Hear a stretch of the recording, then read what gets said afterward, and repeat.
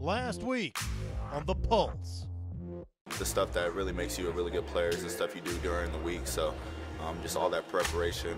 It's like all odds are against you, and you kind of just all you have is your teammate to lean on. And that's really what it comes down to in, of the game and as a, as a whole family. On a third and eight from the Ole Miss 18-yard line. Here they come. Here comes pressure. Kellen throws. Left side. Rogers caught it. Touchdown.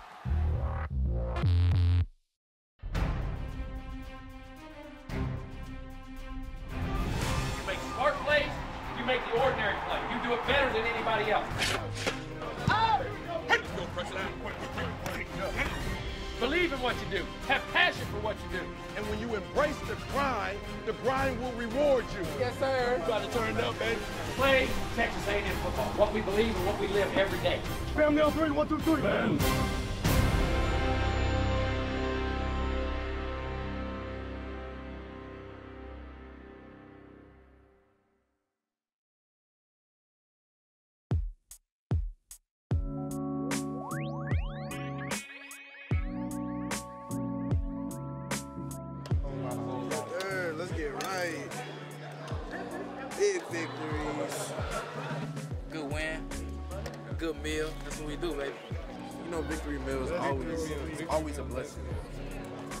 Monday after an SEC road win. So it's time for some home cooking and for the Aggies to enjoy the fruits of their labor. This right here. That's how you do it. Let's go sit down. You got the steak, you got the honey chicken, you got the snow crab, you got the potatoes. You gotta get a little salad for your grand. He ain't gonna finish that, though. He ain't gonna finish that. He don't got it. He ain't no big dog. Hey, that's that. That's that good steak right there. We feel good today. Real good. Real good. Yes, sir. Let me go ahead and get a piece. As long as get no vegetables, man, you gotta get the carbs. Where's the rest of all these? I took them all. No, Andre White probably took all the crab.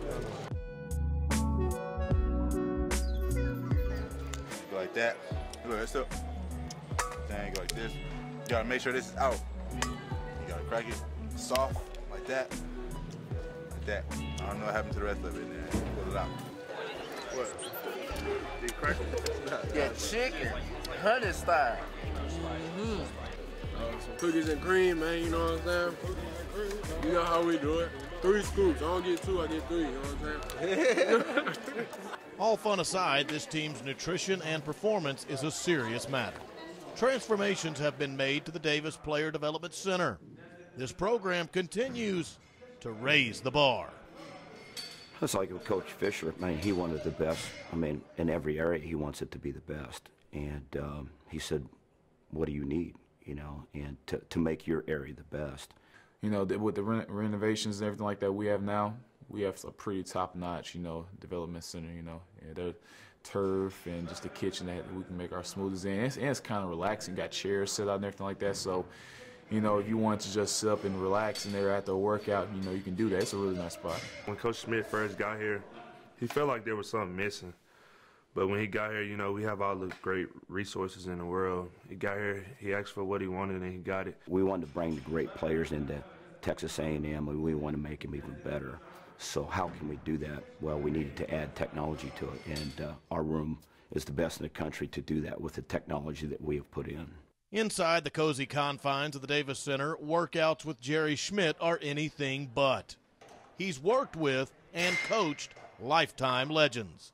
In a short time in Aggieland, he's building this team for long lasting success. It's relentlessness. There's a picture, a passion, and a way to do things.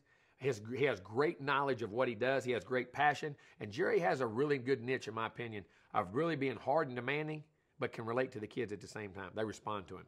I mean, he has that niche, and he's extremely knowledgeable.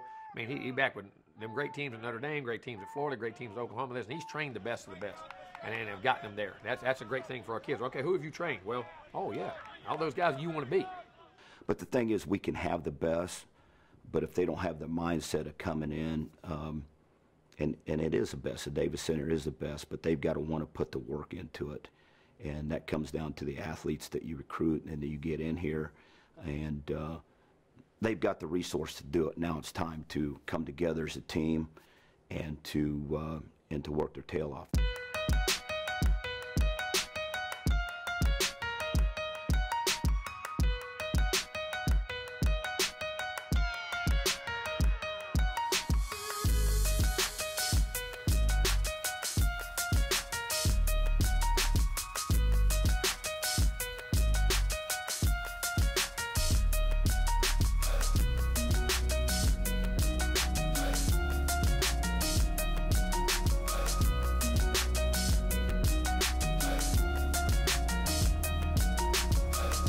Some of the most significant strides have been made by linebacker Aaron Hansford. His A&M career started on offense and mired by injury. Healthy now, he stepped over to the other side. I've had him at my rack. I mean, like I said, I've got five guys, and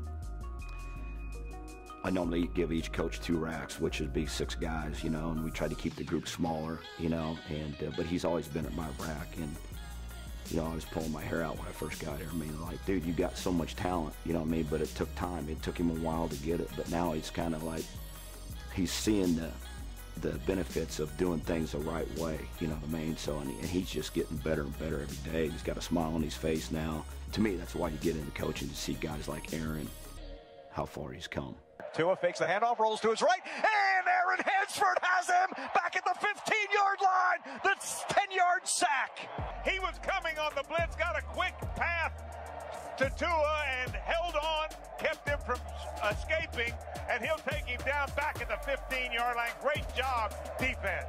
The, the the the 180 he's made as a person, you know, from just it was it was hard for him when, he was injured, and you know he, he slacked off a little bit, and you know it was tough for him. I understand, but then once he was able to just re re-identify himself for who he is and what type of player he is, he's made a, he's he's made tremendous strides. It was hard. Being hurt for that long it was very hard for me, just because there wasn't a guarantee that I was going to be okay. Um, I was trying to be as optimistic as possible and keep positive energy around me, but you know, in the back of your head, you just don't know how the recovery is going to be, especially doing rehab and then trying to get back onto the field and play at a high level again. So it was tough on me mentally and physically. Um, the mental part was trying to switch positions during my rehab part of, uh, of my recovery, and it just it, it was tough. But you know, it's showing a lot of progress now, and I'm glad I made that choice. I was just thinking, like, what do I want to do when I get back? Where do I see my career going? And I know that from experience of playing defense that I was able to do that at a high level in high school. Um, so I kind of just, when I started to get back healthy, I just took a chance and said, I'm going to try and go play defense again. Uh, so when spring ball came around, I had asked Coach Fisher if that was possible, and he made that happen.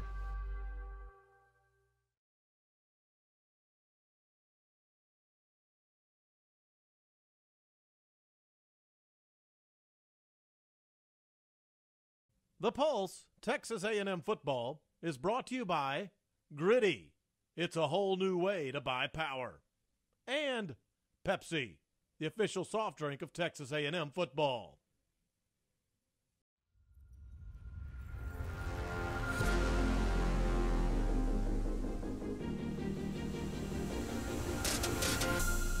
Ags. So glad that you are with us. We start in the morning on this Saturday into a glorious Saturday afternoon.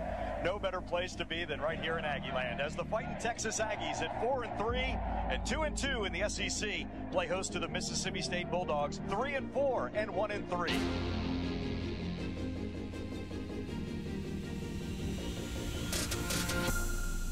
It's time to go play football. Okay? You got to play a complete football game, offense, defense, and special teams. One play at a time and taking care of your business and execute. Not having the ups and downs, not having the downs. Screw your cleats in the ground, put your hand in the dirt, come off the football, put your face and hands on them guys, let's go play. Let's cover them, let's block them, let's tackle them, let's throw, catch, get open, break tackles.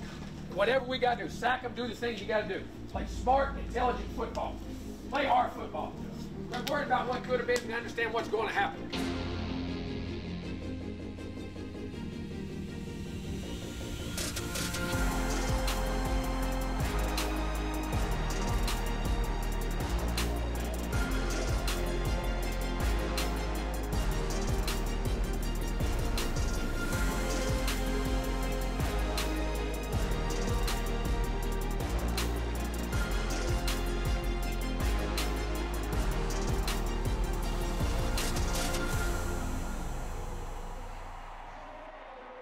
A&M strikes first.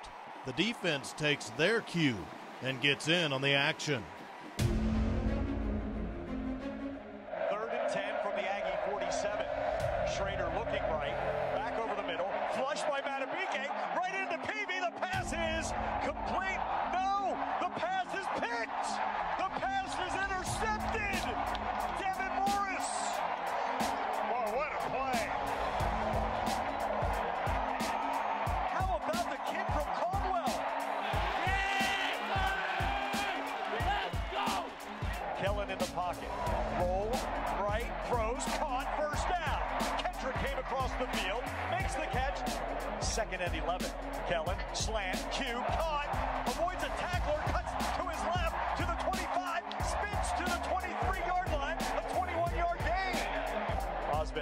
And left, give to Isaiah Spiller, no, keeper by Kellen on the left side, Kellen Mond, touchdown! He faked it to Spiller, partner, What did I tell you? around the What did I tell you? 12-yard touchdown run. The way they're pursuing, they're going for Spiller. It leaves it wide open for Kellen Mond, and he takes advantage of it and gets the touchdown. Mississippi State finds the end zone but gets their momentum taken away soon after. Takes the snap. Fake, throw, cue with the catch. 35-40 by the Aggie sideline to the 45-yard line, a 10-yard gain. The snap to Kellen. Looking right. Throws right, complete, middle of the field, inside the hashes, and first down distance all the way across the 30 to the 29 is Quartney Davis.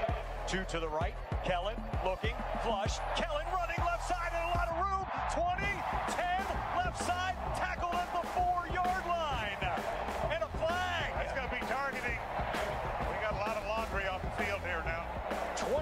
26-yard run by Kellen. There was no targeting on the play. The 15-yard unsportsmanlike conduct foul on number 76 will be enforced.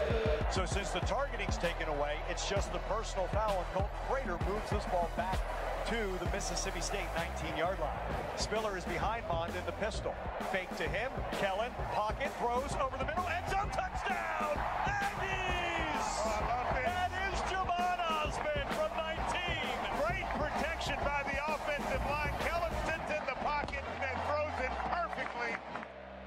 The defense has some bite to it against the Bulldogs, and they keep throwing the offense a bone.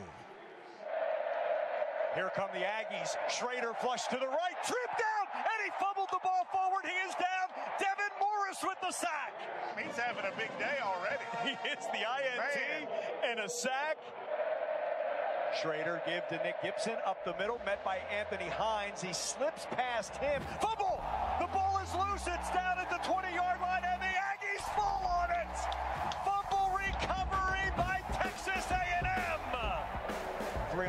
on the play clock. Snap to Kellen. Pressure coming up the middle. Throw slant caught by Kendrick inside the 10. Still going to the 7. No, he's not down yet. He's in the end zone for a touchdown. He never touched the ground. Kept his balance. Spun. Put his hand down. Went into the end zone. Touchdown, Aggies. Hey, That's what he's talking about right there, DJ.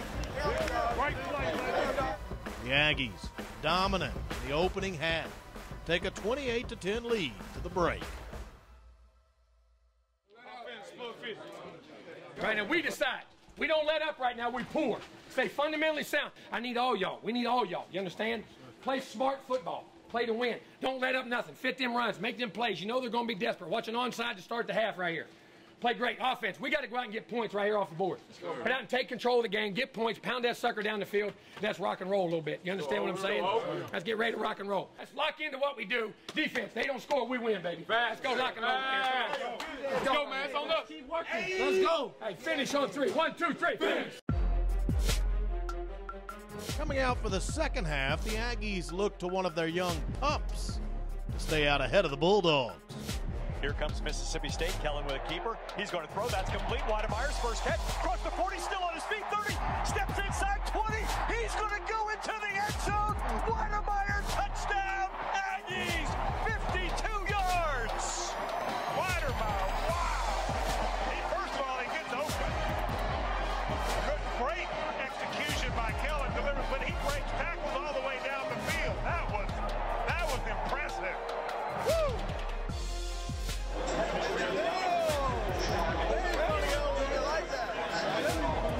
Aggies are in control, but these dogs still have some fight left in them. Second and five. Keeper Shrader around the left side, and he'll slide to the 42 yard line. 0 for 6 on third downs. Fake to Hill, swing right side, caught by Dedrick Thomas into Aggie territory at the 40 to the 35, cuts back. He's got the first down and much, much more, all the way to the 30, a 25-yard gain. Takes the snap, looking right. Here comes Chapman. The throw is caught at the 14-yard line by Dedrick Thomas. 14-yard gain. Third and 10 from the Aggie 14-yard line. Trips left. Shrader, pocket, Shrader, short. Zuber on the left side and around and into the end zone. 14-yard touchdown pass. Isaiah Zuber.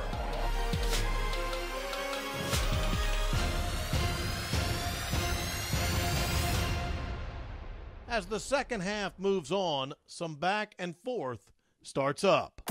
Kellen has pressure from his right, goes over the middle. Jhamon with a catch to the 40-yard line and across the 40 to the 41. Stab to Kellen.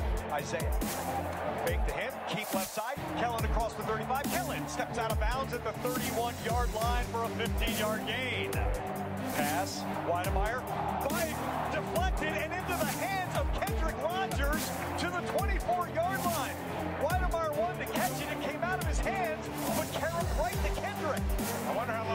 working on that one. Third and four for the Mississippi State 24. Kellen pocket slant caught to the 10-yard line. Jhamon inside the 10 to the 8. Isaiah right side dances back to the left and into the end zone. Four-yard touchdown Isaiah Spiller and touchdown Aggies. I got to tell you, he just keeps getting better. He sprinted out to the sweep and then he cut it up. Nobody ever touched him on his way to the touchdown.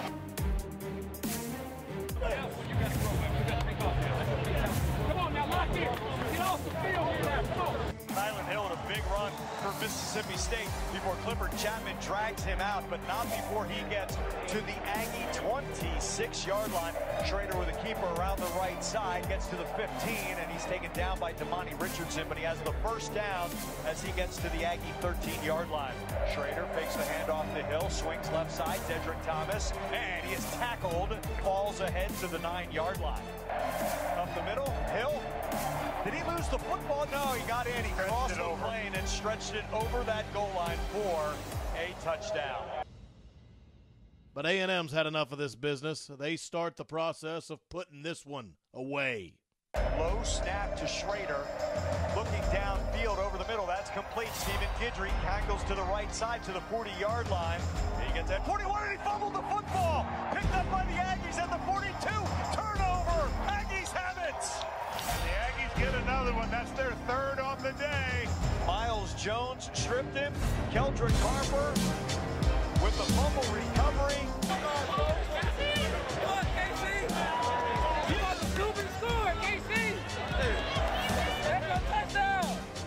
On a third and four, Kellen with the keeper. Tucks it under his left arm. Gets around the left side of the first down before he gets out of bounds at the 30. Keeper, Kellen rolls to the left. Kellen's got a run. Avoids a rusher. Gets across the 20. Falls out of bounds at the 17-yard line. Seven-yard gain for Kellen. More importantly, a first down on a first and 10. Cordarrian bounces to the left side. Angle stays on his feet to the 10-yard line. Drives that pile to the five. Richardson, right side. Richardson falls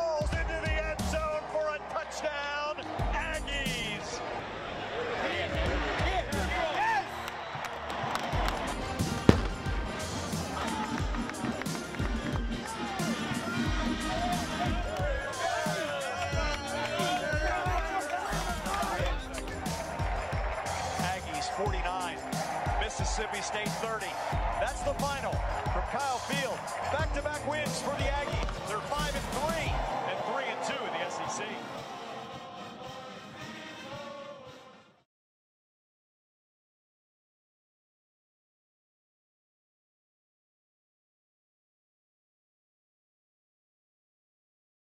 The Pulse, Texas A&M football, is brought to you by Griddy. It's a whole new way to buy power. And Pepsi, the official soft drink of Texas A&M football.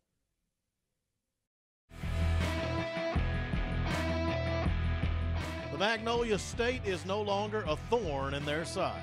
The Aggies sweep the Mississippi schools as they top state 49 to 30. Congratulations. Great win. It's an SEC win at home. Uh, big win. Puts over the hunt. Gets on the upper side of three and two in the league. Got still got hope. Just keep playing ball. You guys don't know what happened. Just keep playing ball each and every week. We asked you to get better this week. We got better. Did some things. Uh, defensively, uh, they moved the ball a little bit, but we got three huge turnovers to set them up. Devin, that's one of the best picks I think I've ever seen. That was, that was, a heck of a pick. You got your strip at the end. You guys made opportunistic plays. Offensively, you took advantage of things. You took you took those turnovers. You turned them into points. You're great on third down. Uh, defense, we got to get some things ironed out. A couple big plays on some things. But listen, guys, nobody's ever perfect. Offense, we got we, we had a drive down there. We had to have to get a punt, and we could have done that. But offensively, I thought we controlled the ball, had good balance. Kellen, Kellen and, and running, I thought you made great decisions all night long, putting us in the right plays, doing the right things, run pass options, pulling it. We ran the ball with authority. Offensive line did a great job, protected well, picked up blitzes. We made plays down the field, receiver-wise, tight ends, everybody. That was a complete game. Punting and kicking. I did a good job in the kicking game for the most part, and, and uh, return, we'll keep looking at it, but got better. We ask you to get better. Guys, all you do is just keep sawing wood getting better. Just keep sawing wood getting better. Just keep sawing wood getting better. Keep sawing wood. All of a sudden, you're a heck of a football team. You don't even realize it. Put your head down. Don't worry about what the outcomes are. Don't worry about the end of the tunnel. Just work. Just go to work. Like I said, when you push, when you push the rock to the top of the hill, push it back down so you got to push it again. It's the grind in the process that you got to live through, and you got to believe in. Just got to keep doing things. Made plays across the field in all three phases. That's a good win. Okay? And you learned to keep stretching it. And you come out the second half, you started fast, did the things you had to do. Very proud of you, okay? Now, what we got to do now, go back and fix the things that were wrong, keep doing the things we're right, getting better at, and then go, go play next week, get better and better. Then we'll get an off week, and we'll get heal up and uh, get better that week, and then go play our last three games of the year. Good football teams, man, just keep sawing wood. Just keep sawing wood and keep playing, doing what you're doing. Very proud of. Learning how to practice and prepare. Now, this week here, got to grind, man. we got to grind and lock in and get everything on time. So We can go play UTSA next week and play our tails off. It doesn't matter. It's how we play. That was the standard. We got to play play well, okay? The season is a grind, but keep chipping away and see where you are when the dust settles.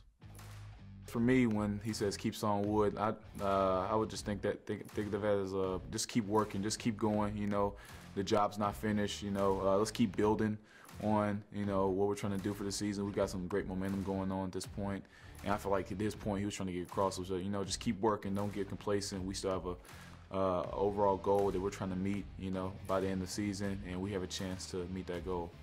And another week brings a new opportunity. The way we played, the way we practice, can we practice even better? Can we play with more consistency? Can we play with more focus? This hits a, you have a milestone for a goal here. You have a winning season. You have goal eligibility. That's one of your goals and what you check off and where you want to go. There's things in front of you you have to keep accomplishing, and you got to do them one at a time, one week at a time. Nothing more matters than this game with UTSA this week and how we prepare, how we practice, and practicing getting in the mindset to prepare to play the best we can play and then go play the best we can play.